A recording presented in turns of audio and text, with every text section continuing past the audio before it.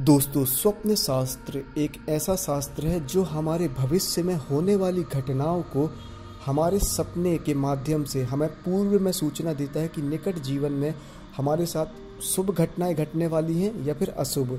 इसी से जुड़े एक रहस्य के बारे में दोस्तों, यह स्वप्न शास्त्र बताता है कि यदि आप अपने स्वप्न में तीन सांप को एक साथ देखते हैं तो इसका क्या मतलब हो सकता है कि आने वाले निकट जीवन में आप पर इसका क्या प्रभाव पड़ेगा? तो आइए जानते हैं।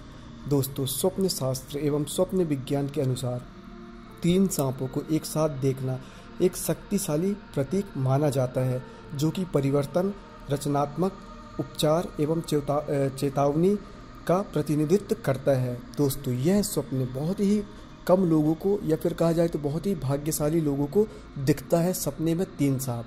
यह स्वप्न संकेत करता है दोस्तों कि निकट जीवन में अब आप सफलता की सीढ़ियाँ चढ़ते ही जाएँगे। यह बहुत ही दुर्लभ स्वप्न होता है। यह हर तरीके से शुभ और सकारात्मक होता है। चाहे धन लाभ से लेकर आर्थिक लाभ, आपकी जॉब, आपके बिज़नेस, हर किसी के लिए बहुत ही शुभ और सकारात्मक एवं अच्छे समय की शुरुआत होने की ओर संकेत करता है।